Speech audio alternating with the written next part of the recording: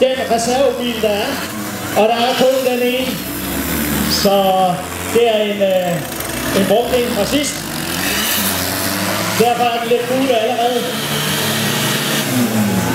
Så det vil altså sige, bil nummer 4, den blev kørt ikke af Kenny, men af Jesper Guldbæk. Og det vil også sige, at der er ikke flere biler på lager, så... Ja, der er så heller ikke et spejl på den her mere.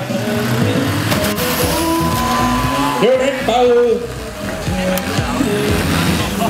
Prøv noget ud for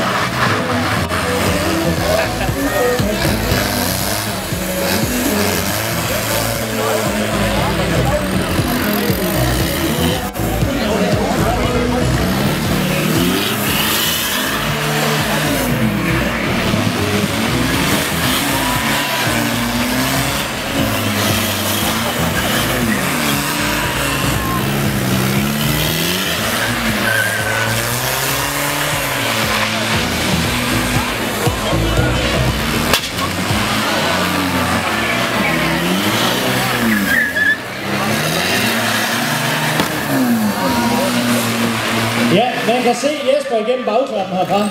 Det ser fedt ud. Han sidder og vinker.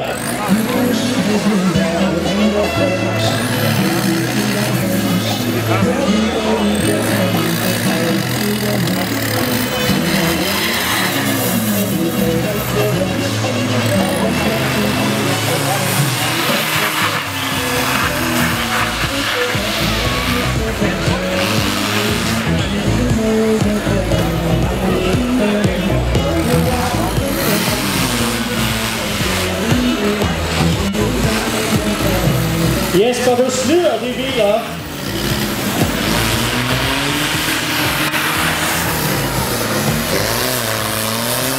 Ja, kom så. Ej, Der var sgu godt nok øh, baghjul. ja, det er på igen. Er det på igen? Ja, ja. Det var sgu ikke så længe. Det er helt ventespil. Det er som vi kender Jesper på tre hjul. Ja, nok Marco. Ja, tak skal I have. Den der med de hjul, der var mere end ikke på asfalten, kom op igen, den er der må ikke regne ud nu.